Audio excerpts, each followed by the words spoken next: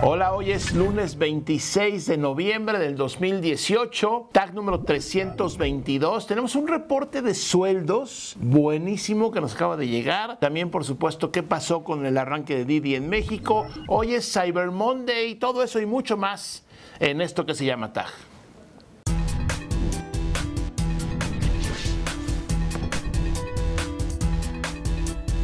Y bueno, el asunto de sueldos y salarios siempre es un gran tema en todas partes del mundo porque finalmente las compañías, eh, hablando de compañías, ¿no? Contratan personal y les pagan un sueldo, ¿no? En términos generales. Si eres tú un emprendedor, un startup, trabajas por tu cuenta, negocio familiar o algo, la cosa cambia, pero en las compañías, los, godines, vaya, si la godiniza absoluta, tienen normalmente un sueldo fijo, depende de a qué se dediquen, pueden tener una parte variable, pueden tener bonos sin compensaciones, pero bueno, hay un sitio que nos acabamos de enterar de que se llama Love Mondays, así amo los lunes, que está muy curioso porque tú te registras y ofreces la información de tu salario y tu trabajo, ¿no? Entonces, ya que das, te dan. Y ahí puedes consultar sueldos de todo tipo de actividades, en todo tipo de compañías, porque finalmente es un crowdsourcing, ¿no? O sea, los, mismos usuarios contribuyen, no hay ningún asunto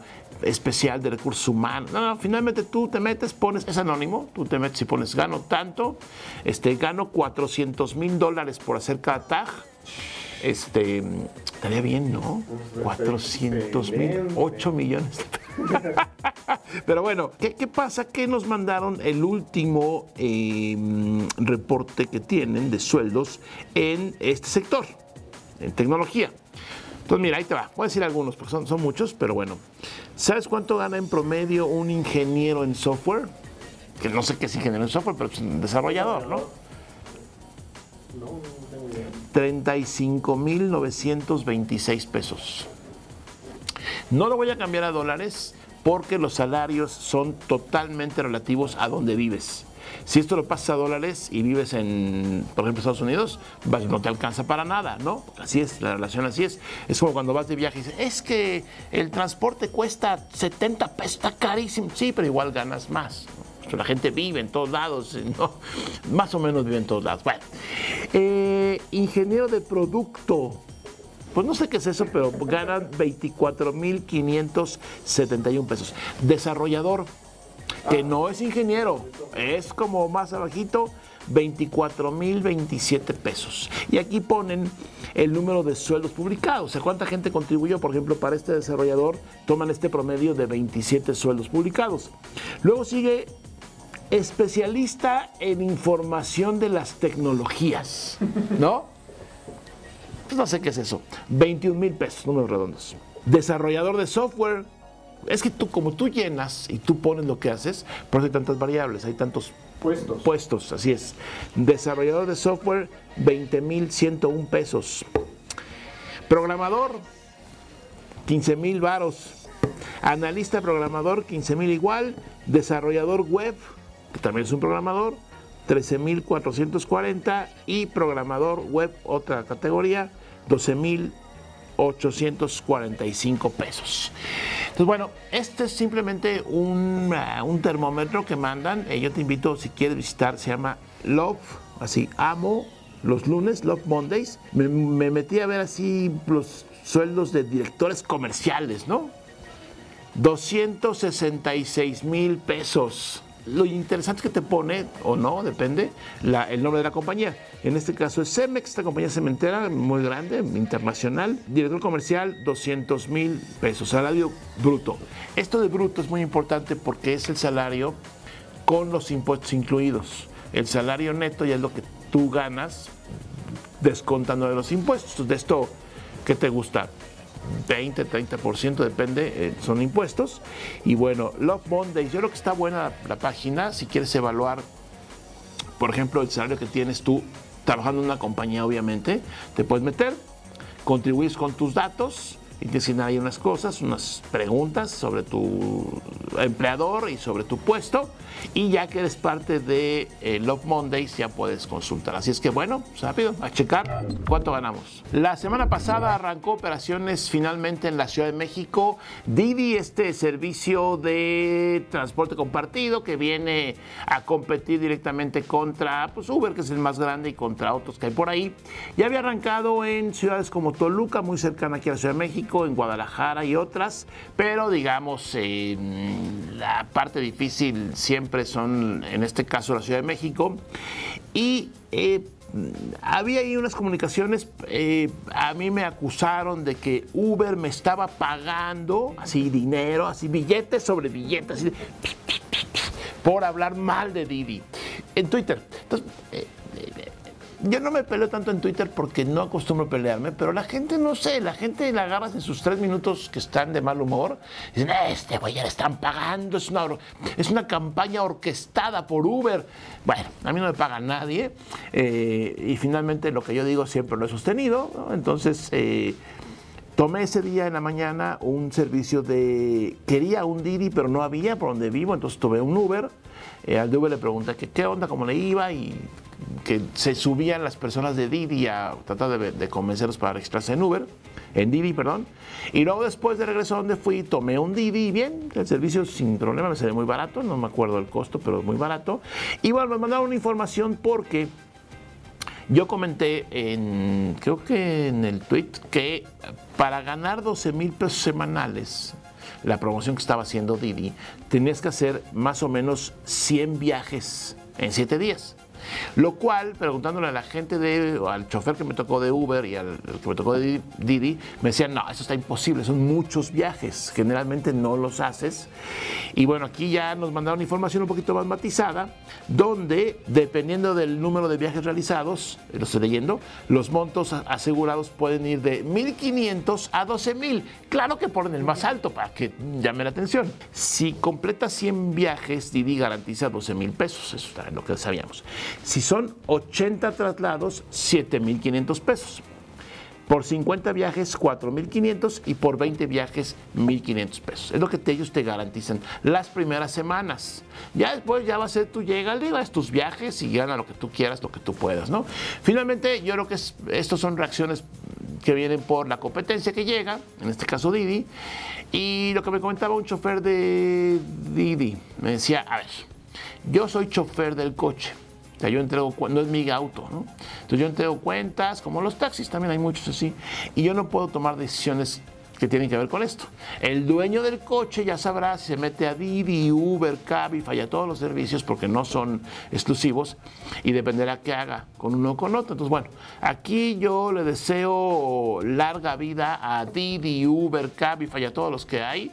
Eh, no confabulamos contra ninguno en ningún momento, simplemente son, eh, en este caso, tuitazos de asuntos que nos van pasando normalmente con el uso de la tecnología, en este caso aplicado a un coche.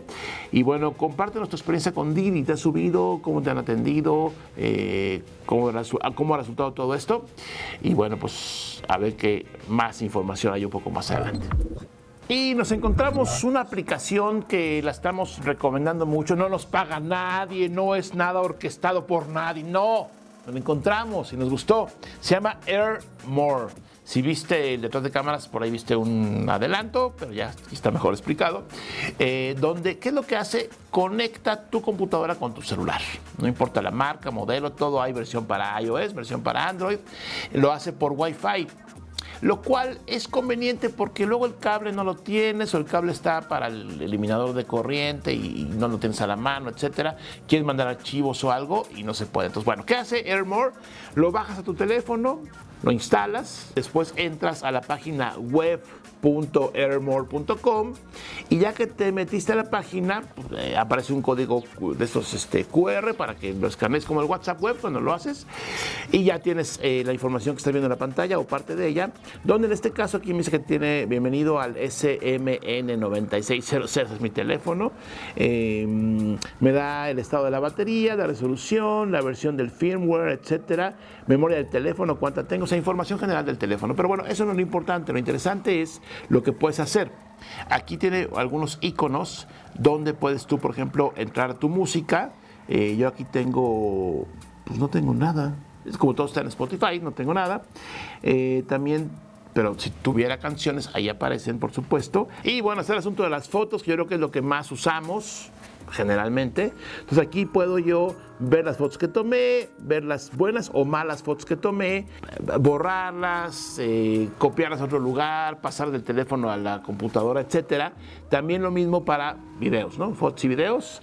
Luego está eh, el asunto de tus contactos. Puedes administrar tus contactos de forma mucho más fácil en una pantalla grande y en un teclado grande que en el teléfono. Luego está todo lo que son SMS, que pues, todavía se usan, ¿no? De vez en cuando está un, un registro de los mensajes. Interesante, es todas tus aplicaciones. O sea, te pone, te lista ahí todas las aplicaciones que tienes para que puedas simplemente, por ejemplo, borrarlas o desinstalarlas. Y cuando tú desinstalas una aplicación aquí hay que confirmarla acá para que no sea así tan salvaje. Está bueno. Y tiene por ahí una pestaña de documentos donde te lista tus documentos y luego archivos que yo creo que es la es como tu directorio del teléfono así el, como el, directorio raíz el disco duro ¿no?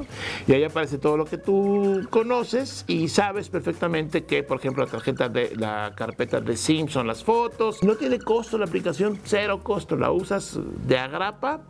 Hay otras funciones que son funciones como más eh, extendidas, que es, puedes tomar la captura de la pantalla del celular, entonces puedes tú aquí, cuando le das, te dice que por favor autorices en el teléfono, entonces ya autoricé y pues ya estoy viendo aquí, eh, se llama reflector, entonces está como grabando todo lo que pasa en la pantalla, yo me voy a ir aquí a, no sé, a, a mi menú principal y ahí está, y lo podemos ver en la pantalla. Ya ahí está, se cheque un poco, ahí está. Y con eso, pues ya lo puedo, por ejemplo, tomar una captura de pantalla, ahí está. Me la graba en la computadora.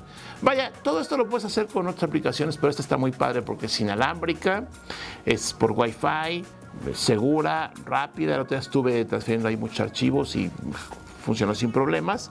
Y tiene aquí otras funciones que se llama herramientas gestor del teléfono te lleva como a los parámetros, luego grabador para iPhone, iPad, que también está, hay versión para iOS, grabador para Android, grabador de pantalla, y estas son ligas que abren en otras páginas, o sea, son otras aplicaciones que funcionan en combinación con AirMore, y bueno, pues aquí te lo presentamos, te lo recomendamos porque está fácil de usar, muy sencillo, no hay que ser técnico, experto en nada para entender que están por Wi-Fi conectados, y ya había versiones anteriores.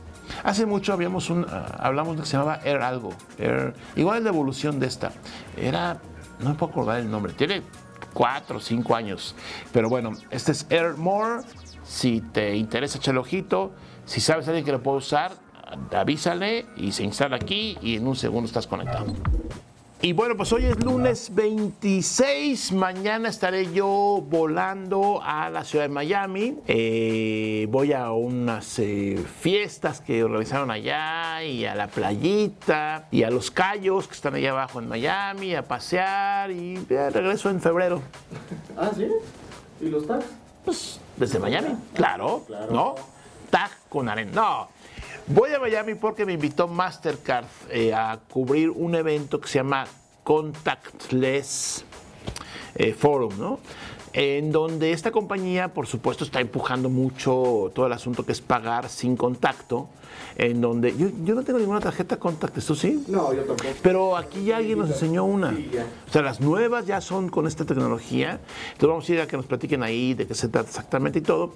Y está padre porque tu tarjeta ya nunca, nunca la sueltas, ¿no? O sea, agarras para pagar algo, llegas a la terminal punto de venta en el súper de conveniencia, donde nada más hay una caja abierta siempre y hay una fila de 45 personas, llegas tú, a ver, quiero tal cosa, acercas la tarjeta, toca así rápidamente la terminal punto de venta, ¡pum! Que entiendo que ya funciona, por ejemplo, en el metro, ¿no? Las tarjetas estas de Broxel, ¿cómo se llama? La, compañía que lo hace es... Sí, de contacto, no sé cómo. Bueno, pero son contactless. Entonces, entonces, bueno, esta es una tendencia mundial.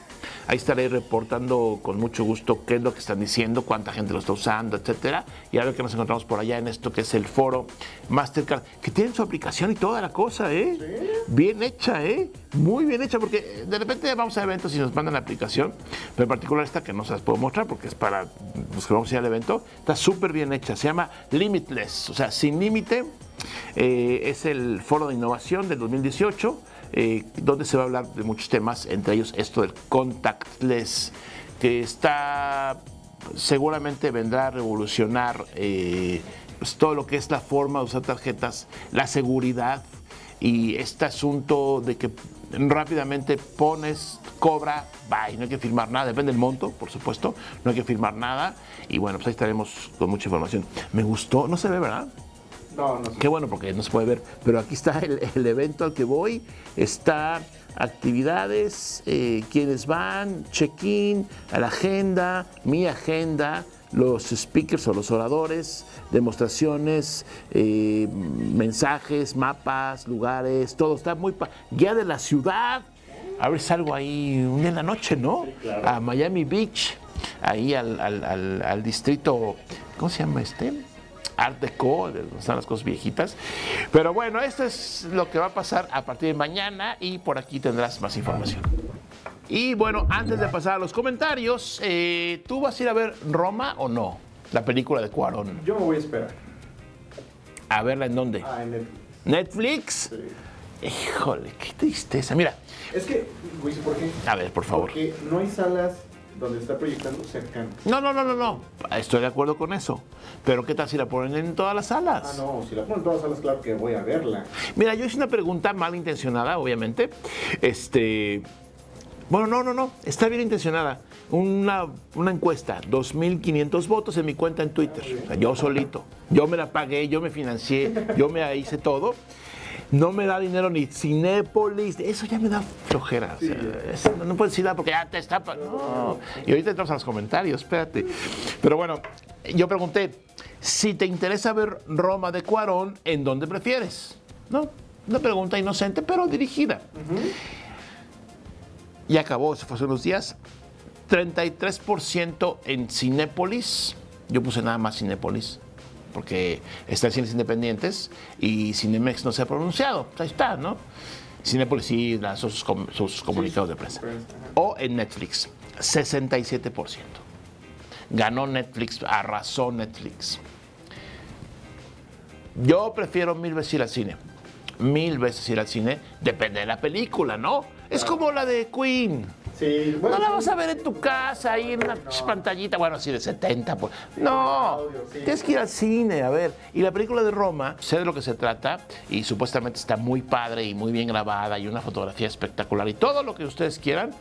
Pues yo creo que hay que ir al cine. Ahora, en los cines que están ahorita, que son 40 salas aquí en la Ciudad de México, pues sí, está complicado, no hay boletos. Pero si la ponen en todos los cines o como cualquier estreno, pues bueno, aquí otra vez la tecnología nos alcanzó. Todo esto sale de un, un acuerdo que tiene Cuarón con Netflix, que fue el que pagó la producción de la película. Entonces Cinepolis dice, no, no la puedo, no la puedo proyectar porque no me das tiempo para que la gente vaya a verla. Si está al mismo tiempo en Cinepolis, en el cine, y en Netflix, pues ya la gente igual dice, mejor me quedo aquí.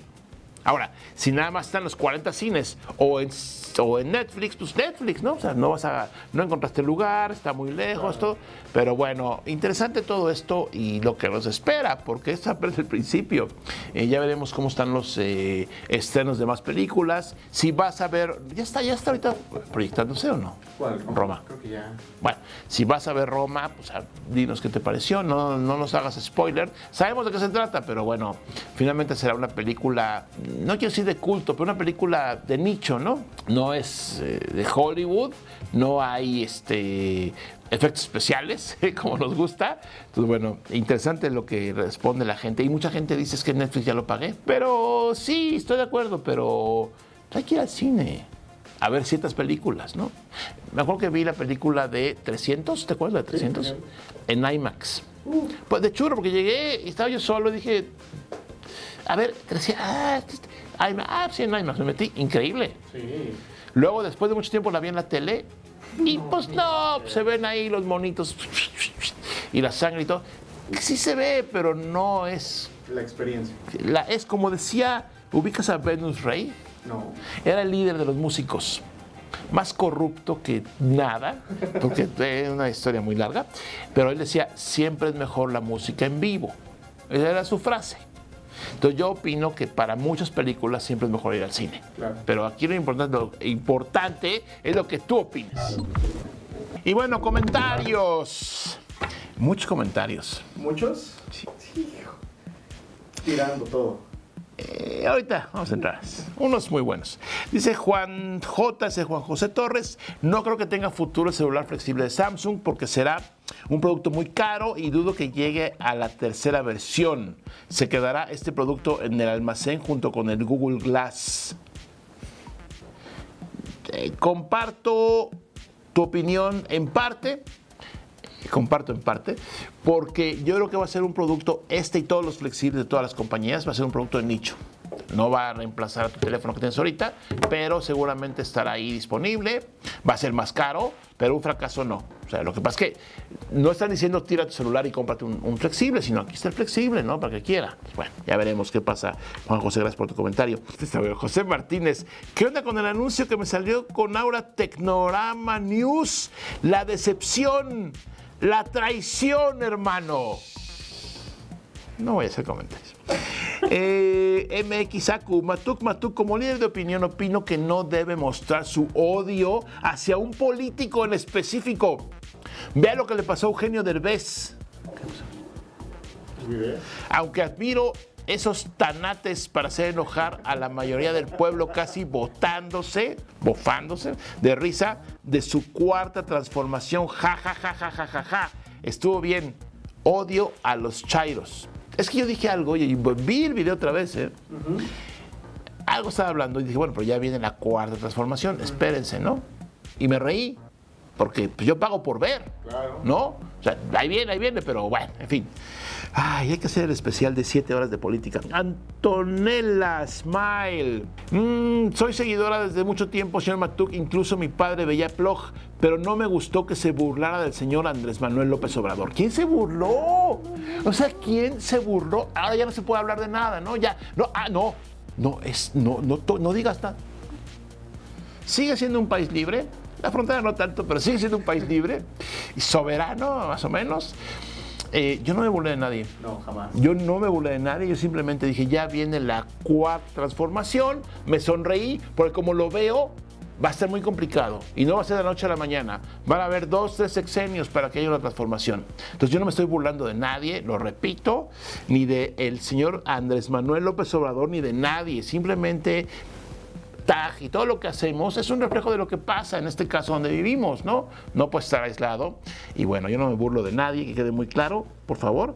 Y le comentan eh, a Antonella, le comentan, eh, sí se pasó Don Matuk, hater del peje. ¿Cómo? Dice Kay Masters, no se burló, cada quien lo toma como quiere, pero ustedes exageran. Pues cada quien sus opiniones, ¿no? Dice Rush Cosmos. Carlos Iván dice, cualquiera se puede burlar de López Obrador, es una figura pública y se, mm, se amoló. No entiendo por qué sus seguidores se ofenden también. Pues acostúmbrense a que lo critiquen así, así como se les criticó a los demás presidentes, ahora le toca a él. Son comentarios que surgen de un comentario de alguien que dice que yo me burlé de AMLO, para nada. Dice Willo Parada, exacto, antes era puro tirarle basura a la, a la contraparte y pidiendo que respeten su opinión y ahora nadie puede decir nada porque es su Dios.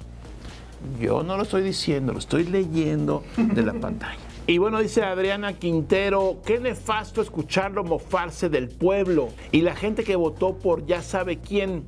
Se nota que usted invirtió algo en el nuevo aeropuerto o que es amigo de Slim y él, y él le lava el cerebro o paga usted por ser líder de opinión y escuchar a la gente contra ya sabe quién. Perdón, y echar a la gente estamos enfermos. Bueno, mucho. O sea, muy, muy, Demasiado. muy enfermos. Lástima de las 8000 hectáreas que compré junto al aeropuerto, ya se me vinieron para abajo, pero bueno. Efraín Madrigal, en mi opinión, no creo que los teléfonos celulares sean el futuro de los smartphones. Creo que entrarán como una nueva categoría como las phablets. Vamos a ver qué pasa. Sait Makun, no sabía que usted era hater del peje Don Matuk. Lo que se encuentra uno todos los días me sorprende. ¿Hater de quién? O sea, hubiera ganado lo que hubiera ganado y hubiera prometido lo que hubiera prometido. Estamos hablando de eso. Claro. Pero bueno, uy, le contestan. Said Makun no es hater, solo da su opinión. Bueno, en fin. Y le contestan, es una opinión hater. Y pone alguien, Joshua, aquí hay mucho am lover. Pues todo en la vida, ¿no? Bueno, ya cambiando de tema, Miguel Ochoa dice, como Mary Jane, otro ejemplo muy famoso es la canción de The Beatles, de Lucy in the Sky with Diamonds, donde se rumora, el título hace referencia directamente al LSD, una droga psicodélica. Saludos, hablábamos la semana pasada de las canciones, de sitio este que les recomendé. A ver, otro de AMLO ya no. Sí, ya. Keymasters. A ver, el señor McDuck en ningún momento se burló, mofó o atacó a ya saben quién. Eso de antes de la cuarta transformación solo fue un comentario, un comentario como lo podemos hacer tú y yo. Si su risa después del comentario fue lo que los hirió, pues qué mal, porque el señor McDuck se ríe hasta cuando lo ataca. porque él es alguien con experiencia maduro, Ruco, y sabe qué es lo que realmente le debe tomar importancia. Recuerden que él también es humano y aunque lo hubiera hecho con la intención de burla, tiene derecho a expresar su opinión. Si le paga a Carlos Slim, él estará ahí en su casa con su propio casino, ahora sí mofándose y llorando, porque nadie sabría que tiene un casino para él solo en su casa. Además, debe ser triste apostar cuando eres el dueño, jaja. Lo último fue un chiste, por si no entendieron. Un saludo a todo el equipo de 1-0 que hace posible todos estos videos. Gracias, Keymaster. Bruno Castillejos. Lord Matuk, ya diga la verdad. ¿Cuánto invirtió en bienes raíces alrededor del aeropuerto? Sí, aparte, aparte lo interesante es que uno pone algo Y ya se siguen todos. claro, ¿cuánto? Trillones de dólares, ni te digo. Cuatrillones. Edarks, ¿qué tal Matuk? Me gustaría que los tags duren lo mismo que duraban antes, de hasta 45 o 50 minutos, que tenía secciones fijas y era más estructurado.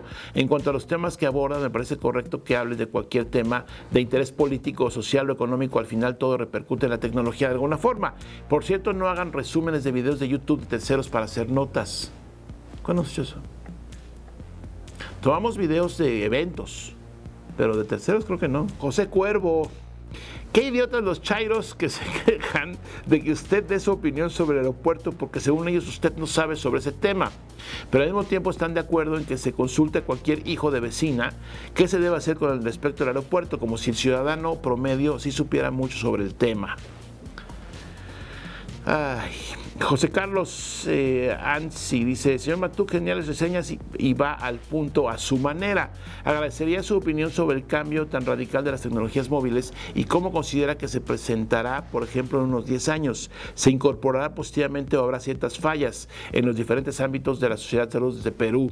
Ah, vamos a Lima. Vamos. Echarnos un este cevichito. ¿No? ¿Cómo se llama?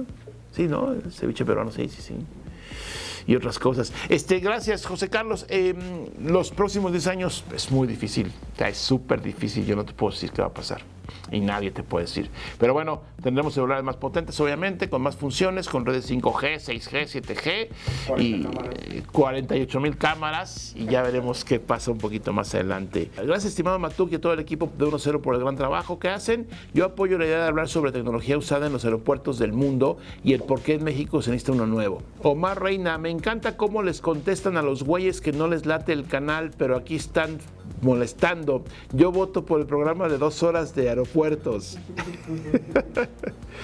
Dice Enrique García, la, la canción es I Would Do Anything for Love, but I Won't Do That, la que te decía de Meatloaf. Por cierto, el cantante Meatloaf es el actor que interpretaba a Pericles en la serie de blanco y negro de los Locos Adams. El teléfono de Samsung con doble pantalla está horrible, no porque quiera decir que el futuro ya está aquí, significa que vendrán cosas estéticamente bonitas. Saludos. Bueno. Y el último, ¿sí? El último. Miguel Ángel Hernández. También jaladez es que una empresa como Dell se equivoque a la hora de poner un precio. si no sabe o no puede ofertar en el comercio electrónico, pues simplemente que no se meta a vender en línea. Tú estás muy chavo, Miguel Ángel, seguramente, pero Dell es la primer compañía que empezó a vender computadoras por internet. Y era así como, ¿cómo voy a comprar una computadora por aquí? Pues no, yo quiero ir a la tienda. Son los que empezaron. Yo creo que sí le saben. Pero bueno, eh, comenta, hay otro que sí puede y saben. Es más, la Profeco debió multar a Dell por entorpecer y desvirtuar los buenos intentos de impulsar el comercio electrónico. Hablábamos del asunto de las, De las laptops. ¿no? De 42 pesos donde están divididas las opiniones y mucha gente dice, sí, yo hubiera comprado 45 computadoras para fregar a la compañía. Y hay otros que dicen, no, yo sabía que era un error y no quiero pasarme de listo y hacer ese tipo de acciones. Como las pantallas de 9 pesos, ¿no? Que, También. sí, Bueno. siempre hay errores de ese tipo.